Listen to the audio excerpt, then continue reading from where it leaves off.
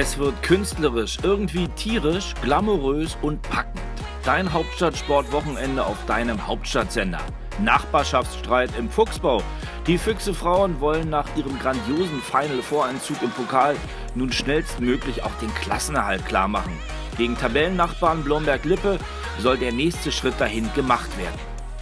Fliegeralarm im Europa-Schwimmpark. Bei der Sprunggala vom TSC fliegen die besten Wasserspringer vom Turm und vom Brett. Dabei machen sie atemberaubende Salti-Drehungen und Schrauben. Titeljagd im Cole Sport Center. Auf dem Weg zum Hallenhockey Final Four soll zweimal der SCC, der SC Charlottenburg, überrollt werden. Die beiden Teams vom Berliner Hockey Club wollen nämlich am Wochenende das Viertelfinale klarmachen. Brandgefahr in der O2 World. Dort brennen Weltklasse-Artisten ein Feuerwerk der Turmkunst ab.